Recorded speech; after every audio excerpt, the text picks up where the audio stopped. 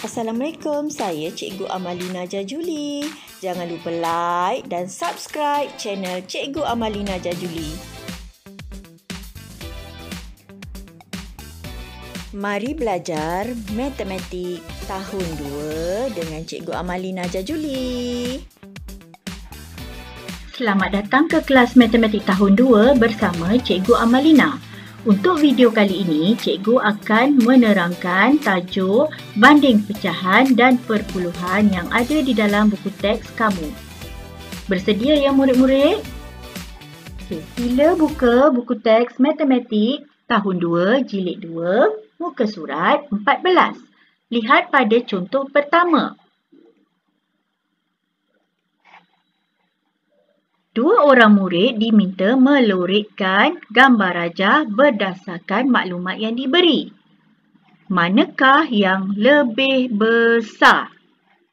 Okey, murid perempuan mendapat soalan 3 per 10. Saya lorik 3 bahagian. Okey, dia lorik 3 bahagian. Okey, murid lelaki dapat soalan sifar perpuluhan 7 saya lorik lebih banyak, tujuh bahagian. Okey, murid lelaki tu pun melorikkan tujuh bahagian. Jadi, mana yang lebih besar? Melalui gambar raja, kita dapat lihat sifar perpuluhan tujuh lebih besar daripada tiga per sepuluh. Seterusnya, contoh nombor dua. Mari banding guna garis nombor. Garis nombor telah cikgu terangkan pada video yang lepas.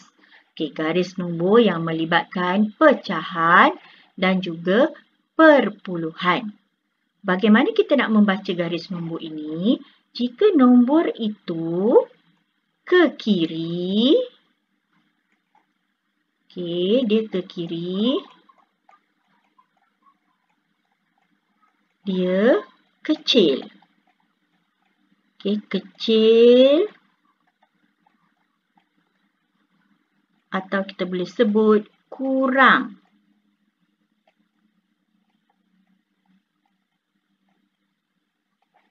Okey. Jika nombor itu ke kanan, ke kanan. Okey, dia adalah besar lebih besar ataupun lebih. Ha, ini tips untuk membaca garis nombor. Eh? Okey. Lihat yang A. 1 per 10. Okey, 1 per 10 dekat uh, sini. Dengan sifar perpuluhan 1. Ya, jawapan dia sama dengan. Okey. Yang B pula. Sifar perpuluhan 8. Okey, sifar perpuluhan 8 kat sini. 3 per 10 dekat sini. Okey, kita tengok sifar perpuluhan 8. Dia ke kanan. Jadi, dia lebih. Okey. Sifar perpuluhan 8 lebih daripada 3 per 10. Okey, lihat pula yang C. Okey, yang C ni.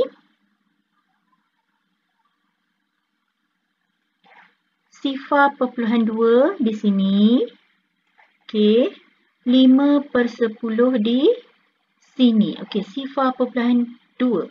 Dia berada di kiri garis nombor. Okey, kiri. Kiri maknanya kurang. Okey. Jadi, sifar perpuluhan 2 kurang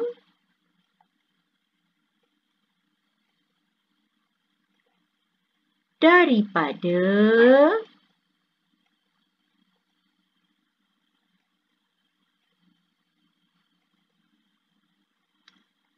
lima per sepuluh. Okey, seterusnya di empat per sepuluh. Okey, cikgu guna color biru. Empat per sepuluh dan sifar perpuluhan 6. Okey, 4 per 10 berada di paling kiri berbanding sifar puluhan 6. Jadi, 4 per 10 kurang.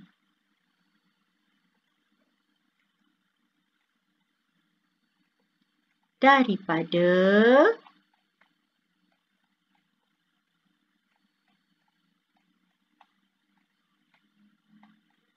0.6. Okey, boleh ya murid-murid? Okey. Akhir sekali, mari kita cuba jawab latihan dalam buku teks ini bersama-sama. Okey.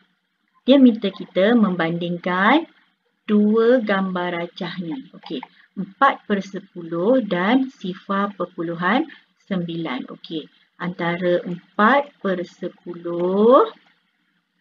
dan sifar perpuluhan 9. Okey. 4 per 10 dengan sifar perpuluhan 9. Okey. 4 per 10 dia kecil. Okey. Jadi kita boleh tulis ini kurang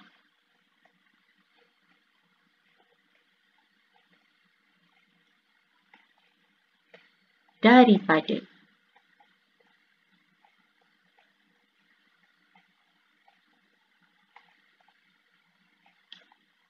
Jawapan untuk A, 4 per 10 kurang daripada sifar perpuluhan 9.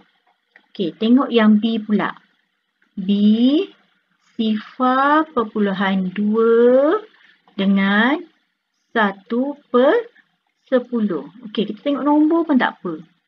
Okey, tengok nombor boleh dua dengan satu kita bandingkan yang ni. Ataupun tengok gambar dia ni. Ha, nampak? Dua, satu. Ha. Jadi merah ni besar ke kecil? Besar kan? Jadi kita boleh cakap sifar perpuluhan dua lebih daripada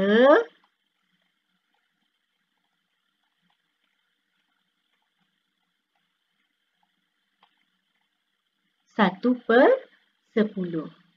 Okey, mudah kan murid-murid jika kita bandingkan menggunakan uh, gambar rajah, garis nombor ataupun kita tengok pada nombor yang ada pada perpuluhan dan pecahan itu sendiri.